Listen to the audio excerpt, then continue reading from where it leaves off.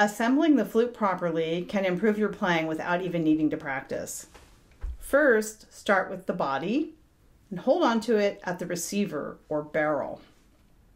Be very careful to never grab your flute by the keys.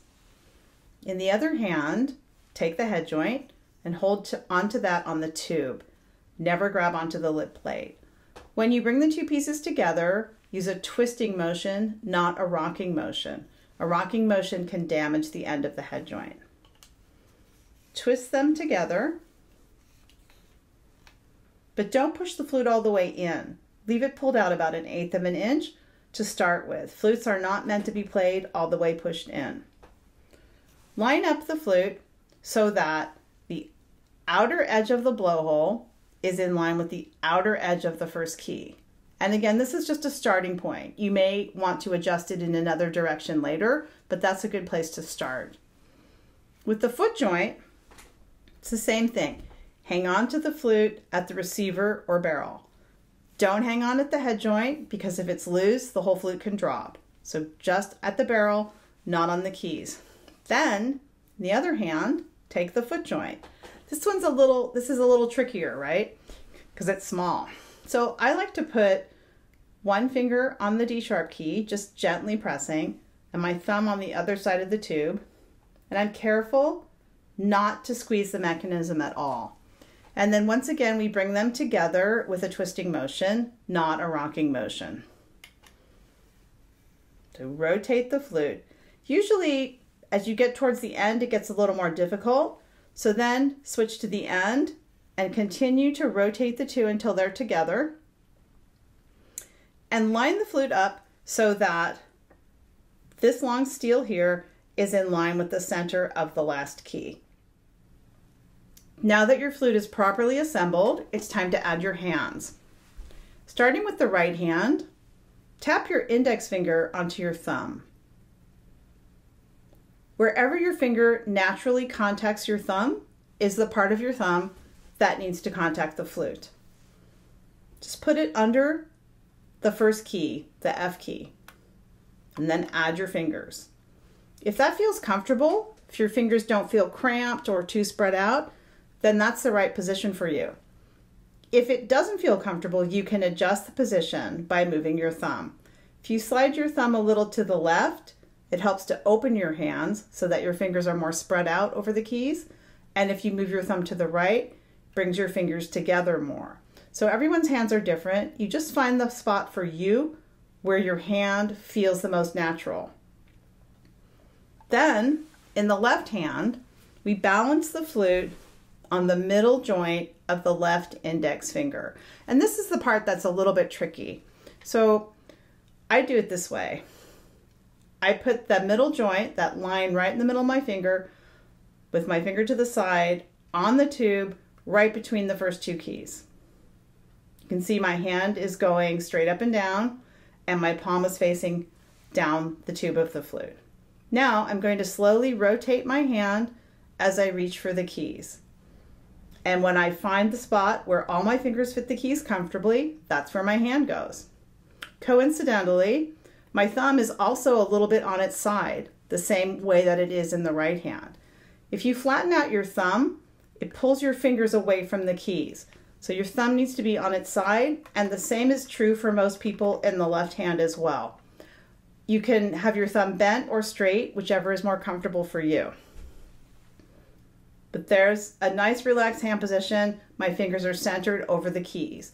Even if you're not playing an open hole flute, you should try to have your fingers in the center. It closes the pads better so that they seal, which improves your tone.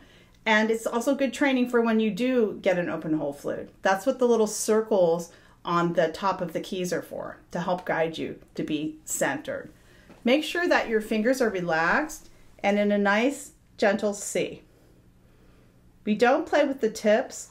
We play with this part right here because that's the fleshiest part. It's going to give you the best, the best coverage on an open hole and also the best leverage on a closed hole or an open hole. So just like this, move your fingers from the knuckle. It's kind of this sort of a motion. It's never anything like this. Just use the muscles in your hand. Our wrists need to be slightly bent because that provides vertical support for the instrument. If your wrists aren't bent, two things happen. First of all, your left hand slides way too high, and then the flute rests here at the base of your finger. There's a bunch of nerve endings there, and it can be very, very painful. But the other thing is, if your wrists are straight, nothing is holding up the flute except you squeezing it. And as soon as you start to move your fingers, that's going to be problematic. So, a little bit of a bend, middle joint, playing position. Now that your flute is properly aligned and your hands are comfortably placed on the keys, it's time for playing position. We play the flute with it angled down and slightly in front of us. We find the best place where we don't feel any pain or stress on our back or arms or shoulders. And a good way to do that is like this. So bring the flute up, bring it way back here, and you can feel your arm and your back tensing. Then rotate around, keep going, and you'll feel more tension over here. Then come back to where there's no pain or tension, and that's your playing position. Sometimes it's helpful to turn your head to the left or your torso a little bit to the left to find that spot where everything feels really comfortable. And if you do that, be sure that you turn your chair or your body a little bit to the right so that when you're in playing position, you're still looking straight ahead at the music stand or the director. If you're playing in a marching band, your position is going to be a little bit different. It's going to be more straight out to the side with the end of the flute up. That's fine for marching band, but you shouldn't do it for anything else. It's not a great position for flute playing. Professional flute players don't play this way because it can be very tiring and can also impair your technique. We tune the flute by either pulling out the head joint or pushing in the head joint. When we pull out the head joint, it makes the tube of the flute longer, so that makes the pitch lower. When we push in the head joint, that makes the tube of the flute shorter and that makes the pitch higher. Flutes are not designed to be played with the head joint all the way pushed in. So start out with it pulled out at about an eighth of an inch and then check check your note with a tuner. If it's still sharp, pull out. If it's flat, your flute might be cold, or it could be that the head joint cork is leaking, but you shouldn't have to play your flute with the head joint all the way pushed in. Another possibility is if it's flat, you might be turned in too far.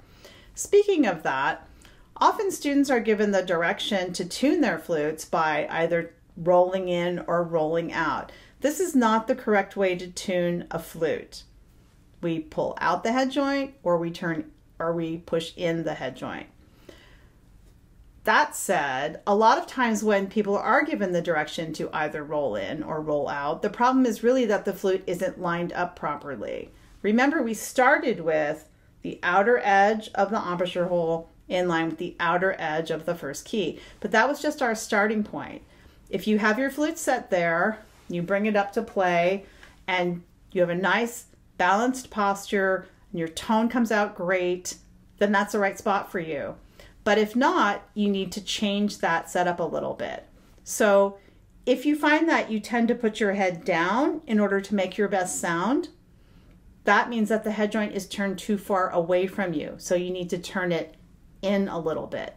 Not just rotate the flute in, adjust the head joint so it's more turned in towards you.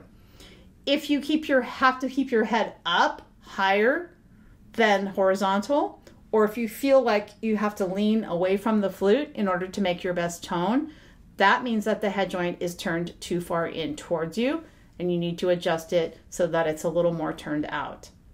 Remember, you should be able to get your best sound, a sound that responds well in all the registers, with good posture that's balanced and not leaning in any weird ways.